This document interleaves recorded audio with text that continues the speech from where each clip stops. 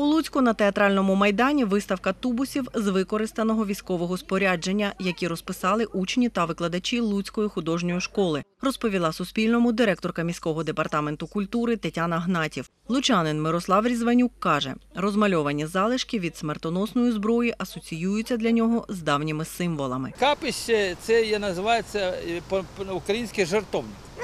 І оце є жертовні речі, жертовні, вони дійсно жертовного значення, бо вони зв'язані з війною. До Луцька з княгининка приїхала Наталія Токарук з онукою. Жінка говорить, хоч і святкових заходів немає, свято незалежності в душі кожного українця. наше українське відродження, і воно зіграло як ніколи в наш час отаку роль свою, що ми відроджені українці, що ми дійсно нація, що ми плекаємо ту нашу молодь на почуттях патріотизму, любові до батьківщини і віримо, що все буде Україна.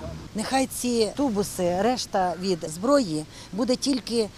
Прикрашена, щоб вона більше не вступала в свою бойову дію, щоб вона не приносила смерть, щоб вона приносила тільки радість, і щоб в неї можна було тільки погратися. Е, Мене звати Франческо, я в Італії і я люблю Україну. The first time that I came, Коли я приїхав вперше в Україну, мені було трохи лячно, бо ті новини, які я слухав в Італії, зробили мене боязким.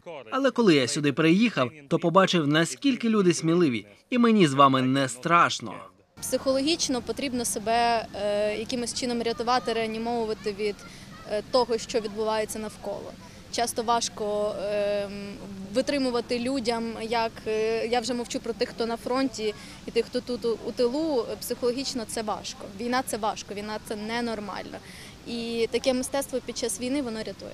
Кожен розписаний предмет, яких є 18, це лот тихого аукціону Незламність. Виручені кошти витратять на потреби Збройних сил України, сказала Тетяна Гнатів. З її слів, для участі в аукціоні потрібно зареєструватися на офіційній сторінці громадської організації Новий рівень. Початкова ставка 5 тисяч гривень. Аукціон відбудеться 2 жовтня. До того часу тубуси стоятимуть на театральному майдані.